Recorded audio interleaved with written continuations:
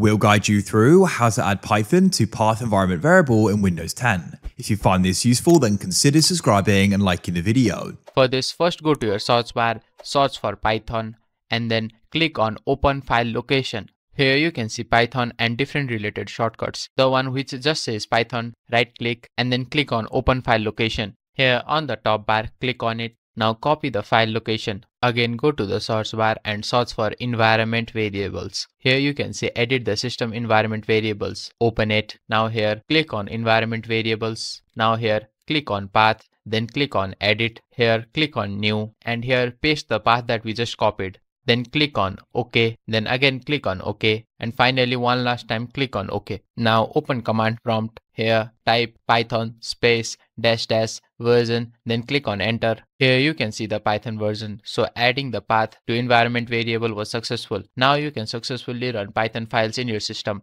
Thanks for watching.